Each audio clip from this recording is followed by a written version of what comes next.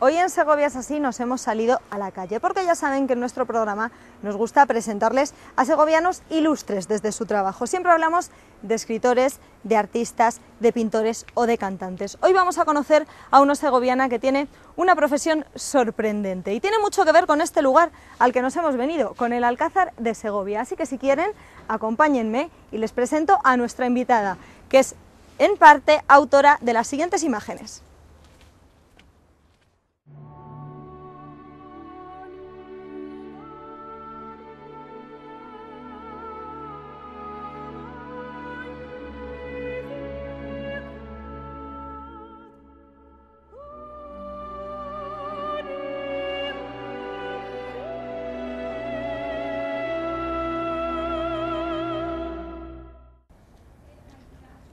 Nos hemos venido hasta el Alcázar porque este es el lugar habitual de trabajo de nuestra invitada de hoy, pero hoy no venimos aquí por su trabajo habitual. Ella es guía en el Alcázar, en este monumento tan emblemático de la ciudad de Segovia, pero además ha sido asesora histórica de una importante serie de televisión. Me acompaña Teresa Cunillera. Teresa, ¿qué tal? Muy bien, ¿qué tal? Buenas tardes. Venimos, como les decía a los espectadores, a tu lugar de trabajo habitual, porque tú eres guía y enseñas a todos los visitantes la historia del Alcázar, la historia de Segovia. Sí, una historia además fascinante y desde ya 12 años que llevo aquí trabajando y estoy encantada, sí, sí. Ha sido un poco esta historia, al ir contando esta historia de Segovia, lo que te ha llevado a este trabajo inusual que les contaba a los espectadores, porque has sido asesora histórica en la serie Isabel, que estamos viendo ahora en televisión española. Sí, la verdad es que todo tiene mucho que ver con este edificio que tenemos aquí, porque incluso el hecho de que fuera guía, porque hace ya, bueno, voy a hablar ahora de hace 26 años, cuando vine por primera vez aquí al Alcázar, bueno, pues como turista, claro, pues visité este edificio, me quedé fascinada, digo, yo tengo que estudiar historia, me compré un libro nada más salir, empecé a leer, a leer, digo, esto para mí no es suficiente, voy a estudiar más, más, más, y entonces fue cuando me matriculé en historia. Luego, bueno, qué casualidad, que resulta que era guía de la ciudad y, bueno, me contrataron aquí cubriendo unas bajas, yo, uy, pues qué bien, qué contenta, ¿no? O sea que otra vez aquí tenemos estas coincidencias. Y luego ya estando aquí con el trabajo día a día, pues me sentí fascinada también por Enrique IV, por, por toda esta época. Entonces fue cuando empecé a estudiar el doctorado, investigando sobre esa época. Y luego pues también en este sitio, que es que todo tiene que ver, pues vinieron pues, los de la serie a buscar localizaciones. Y entonces, bueno, pues contactaron con los jefes y bueno, el jefe pues le puso en contacto con una compañera mía, con Mónica. Entonces Mónica dice, ah, pues sí, hay una compañera mía que, que, está precisamente estudiando esa época, que pues os puede ir muy bien. Entonces ya contacté con esa persona, ¿no?, de, de la serie. Y entonces ya, venga, pues a hablar esto, lo otro, y dice, pues si nos hace falta una asesora histórica, digo, anda, digo, pues vamos, yo estoy dispuesta. Entonces ya pues fue eso, pues es el currículum, entrevistas, esto y lo otro, y ala, todo rodado. Yo encantada de la vida. Así que tu destino, no podemos negarlo, está ligado al Alcázar de Totalmente, sí, sí. Cuéntanos en qué consiste, cuál es el papel de una asesora histórica en, en una serie de televisión. Hmm. Bueno, pues en este caso ya la asesoría histórica fue una vez que ya ellos tenían hecho el guion, ya lo tenían todo preparadísimo de hace años. Entonces, cuando se inicia el rodaje, pues surgen miles de, miles de interrogantes. Entonces eh, mi labor fue pues documentarles con imágenes, documentarles también con informes sobre miles de temas, que era increíble. Una cuestión fue un trabajo previo para que ellos ya tuvieran con qué trabajar, ¿eh? sobre todo lo que es vestuario, atrecho, todo esto, ¿no? Y luego también en el momento del rodaje, igual a veces se les venía alguna pregunta, entonces claro, pues ya me llamaban y a ver pues también para resolverlo. O sea que era un poco siempre así a salto de mata, ¿no? Ya con el guion hecho, porque tú empezaste a trabajar cuando ya tenían un guion previo escrito, mm. ¿es difícil? ¿Te encontraste algún problema, algún error histórico que no concordara con los datos, con los estudios que tú tenías? No, para nada. Además, me gusta mucho el enfoque que le dan, porque sobre todo aquí en Segovia, que todo el mundo ama mucho a Enrique IV. Ya me he estado dando cuenta que todo el mundo es más Enrique IV que de Isabel, ¿no? Y la verdad es que no hay que ponerse enfrentados porque no, una cosa no quita la otra. Pero bueno, el caso es que tanto el guionista como el director sí que le quieren poner muy bien a Enrique IV, dentro de lo que deja la documentación que se ha conservado, porque los cronistas, los historiadores la han tratado bastante mal. Y entonces, si os fijáis, pues en la serie sí que está e, ese carácter tan ambiguo, pero que, que da muestras de que era un rey pues que era muy culto, con unas ideas muy avanzadas para la época, pues el conciliar, el hablar, el procurar utilizar la guerra como último de los últimos recursos. Entonces, el, si lo veis pues en la serie esto sí que está ahí tratado y es uno de los aspectos que más me gusta también. Tiene que ver entonces lo que estamos viendo en la ficción con, con la realidad que ha pasado a lo largo de la historia, la que has recogido tú con algunos de tus documentos, pues de estos estudios a lo largo de todos estos años. Tiene que ver entonces. Sí, sí, muchísimo. Bueno, y si hubiera más tiempo podría desarrollarse mucho más, pero sí, sí, es que es un personaje que es eso, como la historiografía le ha tratado tan mal, tan mal, es como que ahora no sé, te choca, ¿no? A veces ver un rey que, sea, que tenga esos aspectos y en la serie no se ve tanto también el aspecto mm, que fue un gran mecenas del arte, que aquí en Segovia todos lo sabemos muchísimo, porque vamos, media ciudad que tenemos hoy en día de lo más rico, pues lo patrocinó él. Pero bueno, algunas pinceladas sí que se ven en la serie, pero la serie tiene un gran rigor histórico, desde luego que sí. En la serie no es el personaje principal, el que mm, eres más mm. experta, podamos decir, porque bueno, tal y como dice el nombre, está destinada a, Isabel, pero mm. utilizamos esta figura de asesora histórica para dar un perfil de todos los personajes, sobre todo de toda la ambientación que gira en torno a, la serie, no solo del, personaje del rey, de Enrique IV. ¿Cómo ha sido esto? Mm, llevar tus conocimientos sobre un personaje histórico un poco a la época en la que vivió.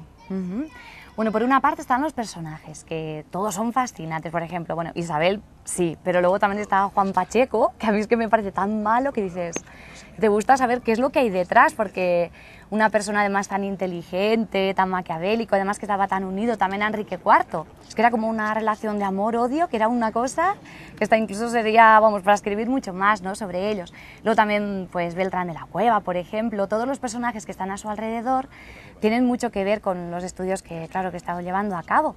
Eh, los personajes en sí, pero luego también la ambientación de la época.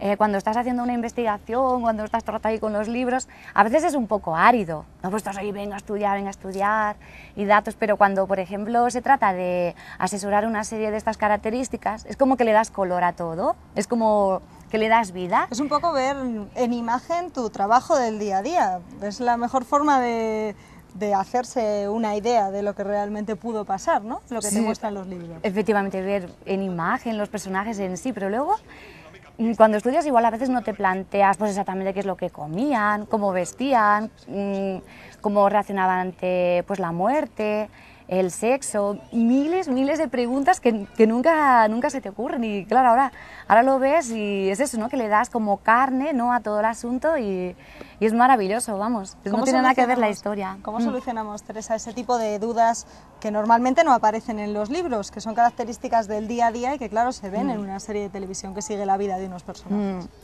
Bueno, hay unos libros que son, bueno, pues monografías Enrique IV Isabel, que bueno, son datos casi siempre más políticos, culturales, pero luego hay muchos catedráticos, expertos que tienen publicados también muchos libros que es de la vida cotidiana, de las fiestas, de la comida. Tienes que ir buscando mucho más, moverte mucho en bibliotecas, pero sí que están ahí esas publicaciones y son fascinantes, la verdad. ¿Qué ha sido lo más difícil a la hora de documentarte para hacer este trabajo de asesora histórica? Cuando hablamos de por ejemplo, del vestuario, cuando hablamos de la escenografía, de la ambientación, ¿qué es lo más difícil mm, de llevar a la realidad, a escena? Mm.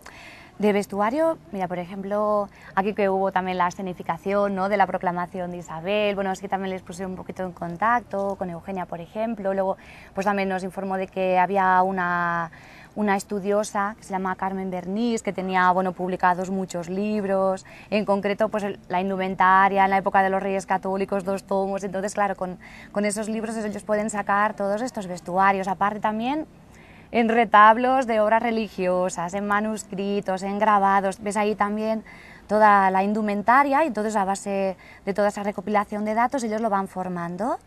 Y bueno, no sé, esto por ejemplo podía ser una de, tus preguntas, pero luego a lo que me has dicho de que podía algo que fuera un poco complicado, pues a veces una cosa que parece una tontería, pero del capítulo que se ha emitido ahora recientemente, eh, cuando están en esa batalla, que está Enrique IV, que está contra su, su hermano, ¿no? Pequeño, medio hermano, porque ya me dijo un experto que hermanastro igual exactamente no, sería que tendría que ser los dos padres distintos, sería medio hermano, ¿no? De su medio hermano Alfonso. Claro, pues ¿qué pendones llevaba uno y otro? Está claro que Enrique IV llevaba el de Castilla-León, el escudo real, y, Alfonso cuál llevaba. Entonces, claro, ahí estuvo también ese dilema diciendo, pues vete a saber cuál llevaba, porque, claro, si llevaba también el de Castilla-León y las huestes se tenían que organizar en torno siempre a esos pendones. Entonces, uno pues ahí preguntando también a expertos, viendo, pero bueno, claro, nadie se había preguntado esta, esta cuestión, ¿no?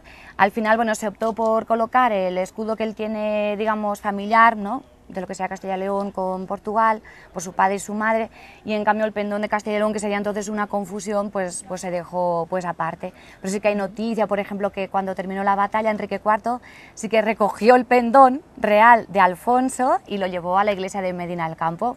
Pero bueno, cositas así, o sea, muchas, ¿no? De, de, de algo que parece que no tiene importancia, pero luego a la hora de grabar sí. Hablamos de, sobre todo hemos hablado de tu trabajo en la grabación de la serie, ya ha terminado, ya ha concluido la grabación de la primera temporada, pero realmente el trabajo de asesora histórica sigue, porque ahora podemos ver un seguimiento más o menos diario de la serie, de cada uno de los capítulos, en el que, bueno, se te hacen muchas preguntas, muchas cuestiones, dudas, como precisamente la que aclarabas ahora de esa, de esa batalla, así que el trabajo continúa. Mm, sí, efectivamente ahí hay una página web que sí que está teniendo mucho éxito. Bueno, me comentaba también la persona que lo organiza, que están muy contentos porque, por ejemplo, profesores de instituto que les felicitan diciendo, pues ya los chicos están interesados en historia, están siguiendo esta serie pues con mucha atención. Y bueno, sí, sí, hay personas mayores de todas las edades que están muy interesados en este aspecto, lo cual es algo que a mí me gusta mucho con mi labor de guía, que es divulgar, también explicar, pues este también es un aspecto de la historia que es lo mismo. En vez de dejarlo en los libros de la élite, de los más más, no, es acercarlo a la gente, al común y que, todos puedan disfrutar y participar y ver que, que no sé, que la historia es como como lo de que tradicionalmente siempre ha sido como el placer ¿no? de contar historias, ¿no? de los cuentos, de relatar. Teresa, desde el punto de vista personal, ¿cómo valoras esta, esta experiencia, esta primera incursión en el mundo de la televisión, en las series, en las producciones? Mm. Bueno, pues la verdad es que me, también me he enganchado, no es que sea a la serie, sino al trabajo, porque la verdad es que lo he tenido que compaginar con mi trabajo de guía y claro, era casi siempre, bueno, por la noche, igual empezaba, empezaba, mirar aquí y allí, y claro, empezaba, empezaba y luego de repente miraba la ventana y digo, uy, qué, qué luz se veía. Y es que se había hecho de, no, de día. digo, pero bueno, me había tirado toda la noche trabajando sin, sin cansarme. Y eso me ha pasado muchas noches y no sé, es como del entusiasmo que, que te encuentras a gusto haciéndolo. Y sí, sí, o sea, sin café, sin nada. O sea, me liaba, me liaba y eso me amanecía. ¿Esperabas que encontrar un trabajo de este tipo ligado a tu trabajo habitual? La verdad es que nunca me lo había planteado, pero bueno, a mí me gusta que la vida me sorprenda, que vayan viniendo las cosas buenas. Sí que ha habido muchas grabaciones en el Alcázar, ha sido muchas veces escenario de, de grabación mm. de otras series de televisión, sin embargo es la primera vez que te surge esta oportunidad. Si volviera otra nueva oportunidad con una serie distinta u otro ámbito distinto, ¿la cogerías? Oh, claro que sí, sí, sí, ya me he enganchado. bueno, pues muchísimas gracias Teresa por bueno, acompañarnos, pues por contarnos detallitos de tu trabajo en, en esta serie de Isabel y sobre todo estamos encantados de conocer a una segoviana que está trabajando directamente con una serie que tiene tanta importancia a nivel nacional. Mucha suerte y esperamos que vengan muchos proyectos similares. Muy bien, pues muchas gracias. Hasta la próxima. Aquí desde los pies del Alcázar, donde pueden encontrar habitualmente a Teresa Cunillera, nos despedimos.